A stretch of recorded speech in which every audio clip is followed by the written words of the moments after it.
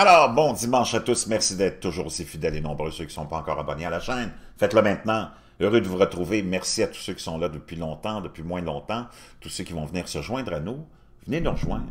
Vous n'allez vraiment pas le regretter. Freedom News Network, pour comprendre ce qui se passe, ce qui nous attend, ce qui s'est passé, les connaissances des civilisations, civilisations anciennes perdues, le manque de spiritualité, sera probablement, euh, pour nos sociétés à nous, hein, la raison de l'effondrement et de nos grandes misères. Puis pour passer à travers ce qui s'en vient, je peux vous dire une chose, sans spiritualité, on est au-delà de la religion.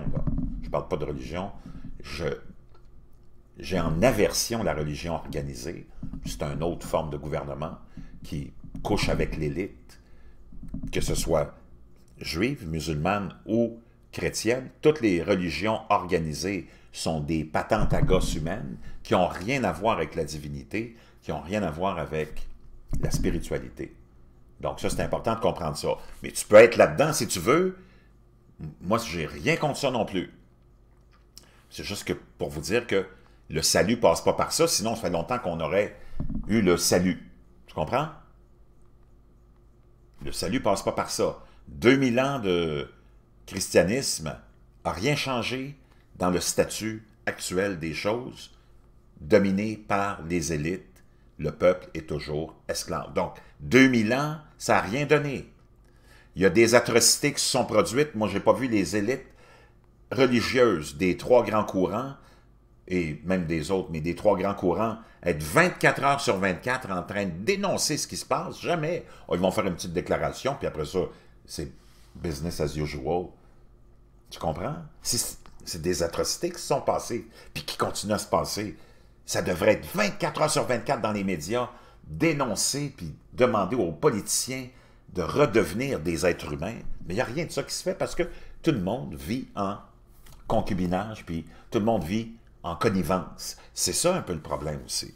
Ceci étant dit, on va explorer plein de choses ensemble. Ça va être une belle aventure qui se continue, qui se poursuit, d'évolution en évolution. Ceci étant dit, le climat change aussi. Puis ça, tu peux rien y faire. Quand même que tu t'arraches les cheveux de la tête, même si on nous met toutes les taxes et les impôts possibles et imaginables sur la gueule, tu ne peux pas arrêter la roue du changement et de l'évolution. Et là, on est dans une période critique. On est à la croisée des chemins. Le cosmos va reprendre peut-être sa place pour remettre de l'ordre dans le désordre et le chaos créé par nos élites. Nous autres, on est juste des pions. Depuis des milliers d'années, on est juste des pions. On n'a jamais rien choisi ni dominé. Le peuple, le peuple, on est le bétail qui sert aux bergers à continuer d'être bergers. C'est ça qu'il faut comprendre. C'est dur à accepter, mais c'est ça qu'il faut comprendre. Et tant qu'on ne revient pas à l'intelligence, quand tant qu'on ne revient pas à la connexion avec la divinité, tant qu'on ne revient pas à nos affaires, à la solidité de l'être humain, qui retrouve sa liberté par la spiritualité, tu retrouves ta liberté, parce que tu te sors de l'esclavage de l'humain, ben, tu t'élèves et tu vois le grand portrait, et c'est sûr que les choses changent après. Mais tant que tu n'es pas rendu là, tu peux creuser, creuser, manifester, manifester, tu vas toujours être, et oui, dans le néant. Puis dans le néant, il y a quoi? Il y a le vide. Il n'y a rien, rien pour ton salut là-dedans. Donc, on s'en va faire un tour maintenant. En, à Terre-Neuve, les amis, pour ceux qui pensaient que... Parce que ici, on a eu une petite pause dans l'hiver au Québec, hein, mais l'hiver est encore là. 75 cm de neige. Moi, j'ai des gens qui étaient... J'étais au travail hier, qui, ont des amis et de la famille à Terre-Neuve. Hey, C'était... Euh, vraiment, tout était paralysé. Il y, a, des gens qui n'étaient même pas capables d'ouvrir leur porte de maison. Samedi 18 janvier, l'île de Terre-Neuve est présentement aux prises avec une tempête historique. Et oui, un record pour l'accumulation de neige a été battu. On dit on s'en est sauvé un petit peu, mais quand je suis revenu du travail hier, c'était l'enfer sur les routes. Des images hallucinantes, je vais vous laisser ça dans la boîte de description. 77 cm. En avril 99, il y avait eu 66, 68 cm. Des images complètement, complètement euh, hallucinantes de neige euh, abondante. Hein?